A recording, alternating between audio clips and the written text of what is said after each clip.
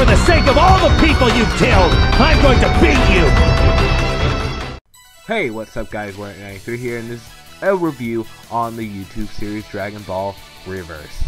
If you don't know what the series is, this is a what-if series created by Sun and Super Saiyan God Elite, facing from the beginning of Dragon Ball Z all the way to the end of Dragon Ball Z, excluding Battle of Gods. And Fukkatsu no F, which does mostly follow the same story arc, but will have huge twists and added plots on top of it, including Super Saiyan 3 Broly, all using Dragon Ball Raging Blast 2 on the PlayStation 3.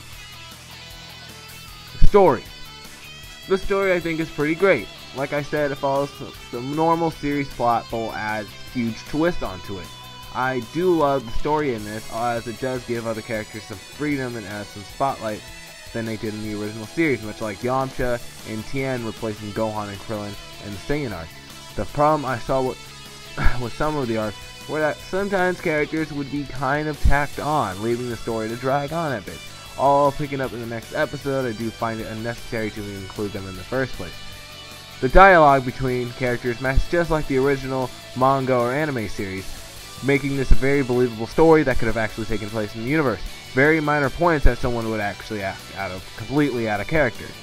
Although there isn't any voice acting, there are subtitles that are color coded with the character's colors, such as Goku with orange and blue, while Vegeta has blue and black to identify who is talking in that certain scene. A good mentionable that I cannot make into its own category would be the music choice for its for the series. The music choice is definitely my favorite as it does use music from the Faulconer and the, for the original series, in which I prefer over an orchestrated version, much like the original Japanese version or Kai, which they use Kai, uh, not Kai, the original Japanese opening music for the opening. Art and animation. This can be very controversial between Z fans, as many Z fans prefer graphics to Budokai Tenkaichi 3 over the Raging Blast series. I'm going to take a non-biased route and say, although I prefer the graphics of the first Raging Blast game, the, gra the graphics for Raging Blast 2 were just fine with the series, as many of the things in this game in terms of gameplay were very cinematic and helped with facial expressions and cutscenes, or making many major plot points in the series very cinematic for this What If series, which, and despite using this game, is the best choice for making this series.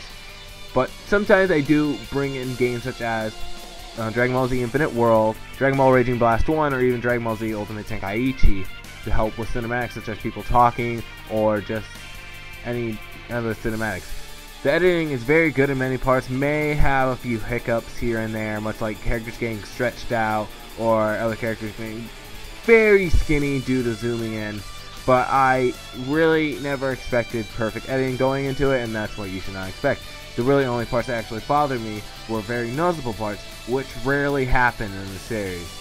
In conclusion, Dragon Ball Reverse is a very well made series that I would recommend to any Dragon Ball fan out there. If you're not a fan of the newer games such as Raging Blast or Ultimate Tenkaichi, you should still check it out and not go in there expecting a perfect series as you go in this with a story. Um, you should go in there mostly for the story instead of just um, action and animation. So that was my review of Dragon Ball, Dragon Ball Reverse. I'll leave a link in the playlist and link to the playlist in the description. If you already saw it, what do you think of it? Let me know in the comments below. If you like this video, make sure you hit this up with a like button and make sure to subscribe to become part of the Super Saiyan Army. See you later.